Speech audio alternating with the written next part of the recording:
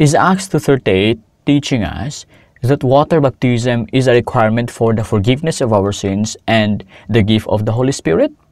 This is our topic for today. Acts 2.38 says, Peter said to them, Repent, and each of you be baptized in the name of Jesus Christ for the forgiveness of your sins, and you will receive the gift of the Holy Spirit. Repent and be baptized. This verse is often used to prove that water baptism is a requirement for forgiveness of sins.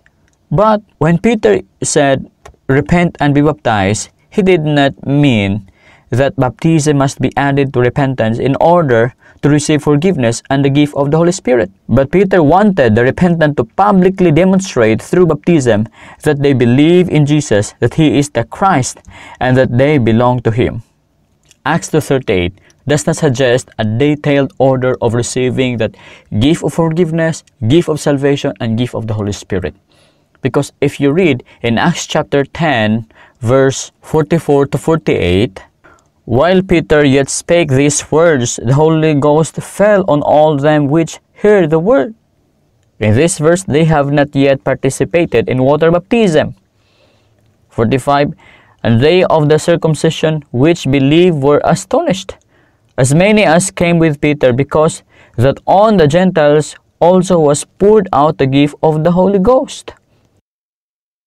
For they heard them speak with tongues and magnify God. Then answered Peter, Can any man forbid water, that they should not be baptized, which have received the Holy Ghost as well as we? And he commanded them to be baptized in the name of the Lord, or in the name of Jesus, and then pray they him to tarry certain days.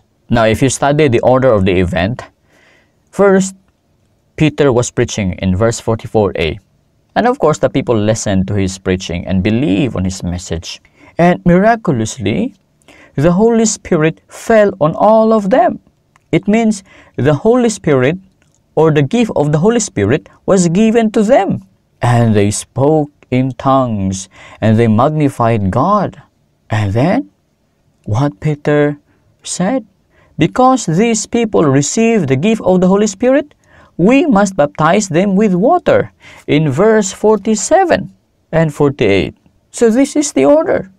In Acts chapter 10, there is a message, the people listened, the people believe, then the Holy Spirit came to them. They received the Holy Spirit.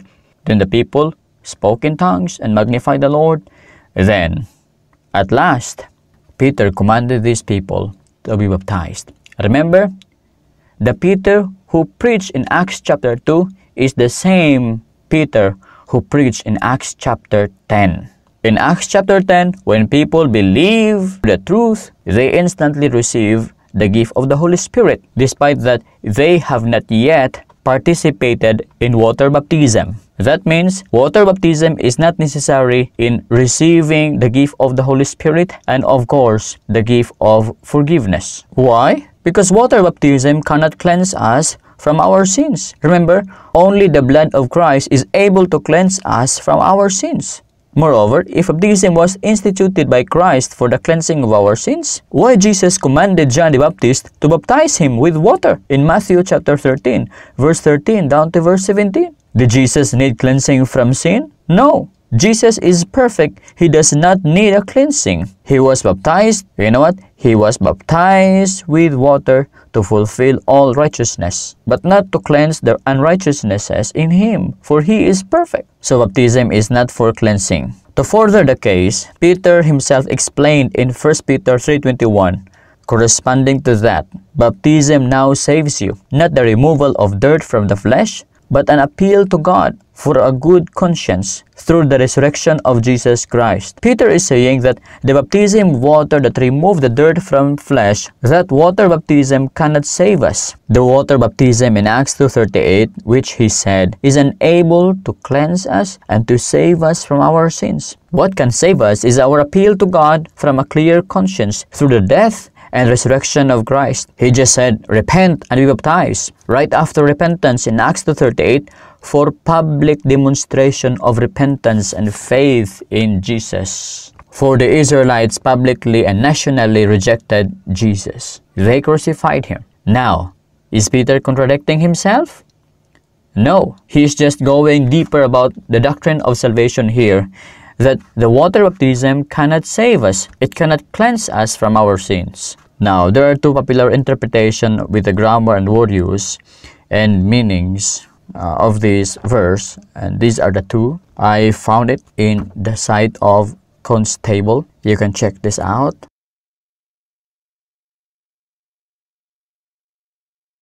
But I personally believe that Peter commanded the people to be baptized right after repentance because he wanted the people to show their identity as Christians, faith in Christ and conversion to the public. Reasons? Because these people rejected Christ publicly. Peter did not want a secret disciple that time. And third, of course, it is the beginning of the church. And of course, because God commanded them to baptize in Matthew chapter 28, verse 19 to 20. Now again, water baptism cannot save is not a requirement for forgiveness. And in 1 Peter 3 verse 21, Peter explained it that it cannot save us. Note, this baptism in Acts 2.38 is water baptism. It is clear that it is a water baptism and not baptism of the Holy Spirit. Some assume that this is a baptism of the Holy Spirit because of the statement, be baptized in the name of Jesus. But in Acts chapter 10 verse 44 to 48, the water baptism there is using this term in the name of Jesus also. Now in the book of Acts, baptism in the name of Jesus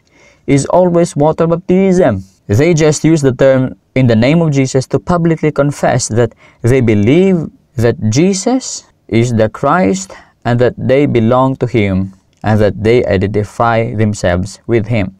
Water baptism is not a requirement for forgiveness and for salvation. Look at the video links in the description below. In those videos, I discuss the people in the Bible who got saved without undergoing water baptism.